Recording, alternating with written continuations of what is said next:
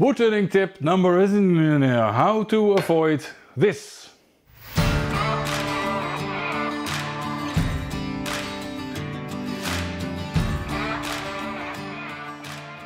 The other day somebody dropped in here and showed me his new tool handle he'd made. Pretty proud of it, I must say it was a pretty nice handle. He had done the, the, the basic course wood turning over here, so he was pretty proud of making his first handle.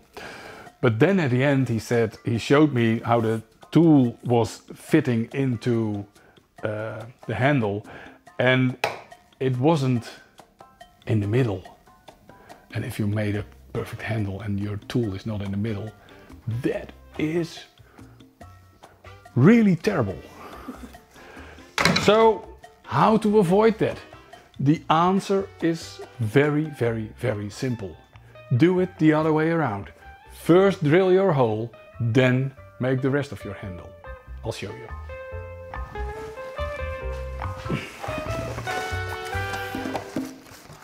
These blocks are going to be handles. So what we first do, first we drill a hole in the wood on the drill press.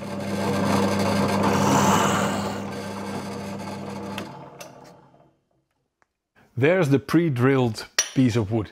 Normally what I like to use as a live center is this type of center. There's a pressure ring over here and it is has a point.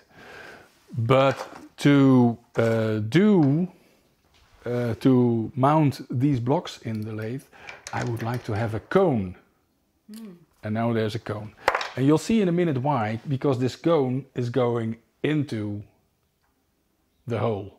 Mm. And then... And on the other hand, on the other side, I have a a safe center.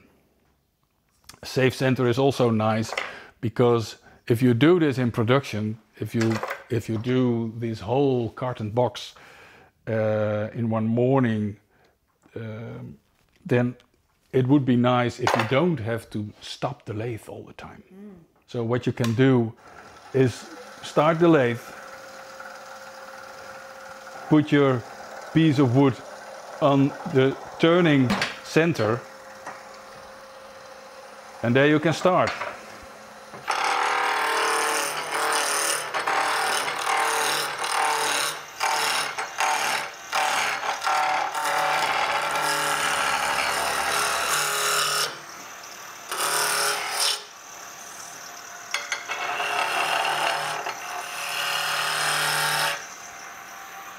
No shape yet. First we take the ring.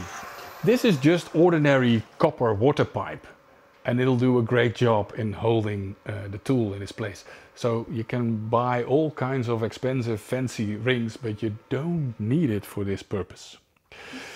Um, we know that the inside of this ordinary copper water pipe is 20 mils.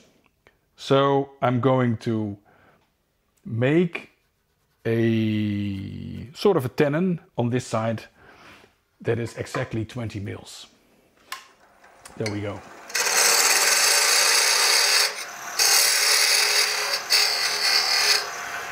And to do that, I use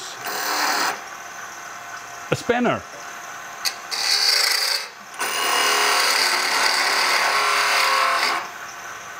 That's just over 20 mils. Because if you measure this uh, on spanner number 20, uh, it's just a little bit over the 20 mils. So let's... That should be 20 mils, just over it. And if I just scrape it one more time and give it a little chamfer on this side, it should fit. Is it long enough? No, it isn't.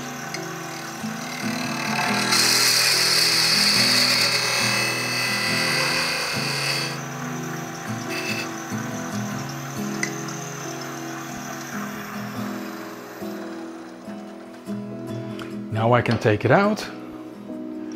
Look if it's sliding. And it's going, it's going, but it's going, well, not smooth. That's good, that's good. And the last piece I do with the hammer. Uh, this is cast iron that I have drilled a few holes in. For this 22 millimeters, for example, it fits in here. And if I slam it, it's on there. And now it is very tight. So always remember first this ring and then your tool in it because the ring is meant to keep the wood together. If this ring isn't there and if, and if I put there, if I, if I hit my tool in there, the wood certainly will split. This is the handle we're making and if you're making lots of these handles, um, you want to do it quick. So let's see how we do that. It starts, of course, by just making it round.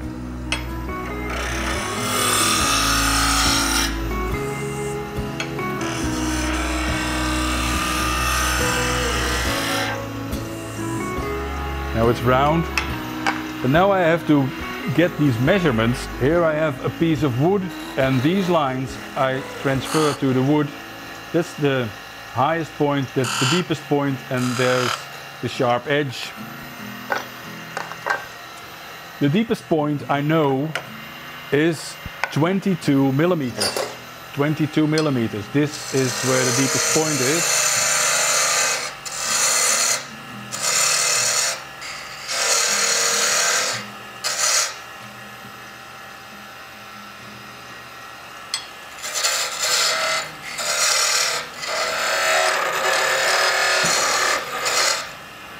There's the deepest point. Now I take my skew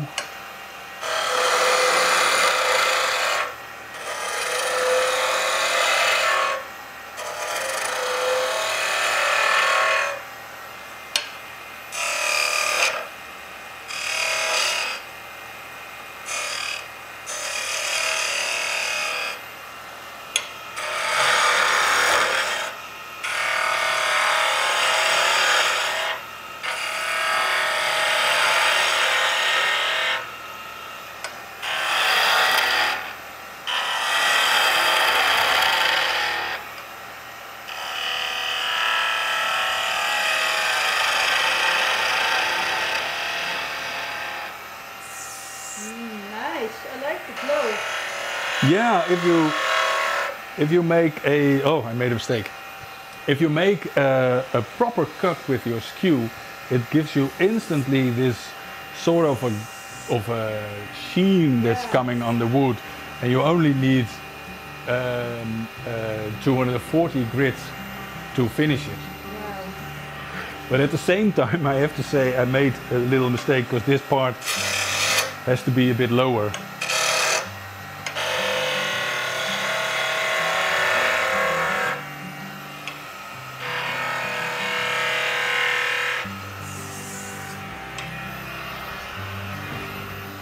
Two forty sandpaper.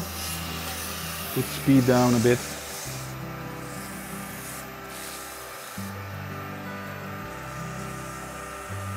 And if you want to, you can also um, sand the copper and it will give you as if it's new. So let's get the thread chaser in there. This is the thread chaser and it's going into the vise. And there's the handle and and there's the hammer.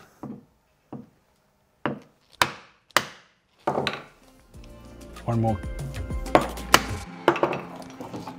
And there it is. All right, nice. No glue, just smash it. That's it. Thanks for watching. Bye.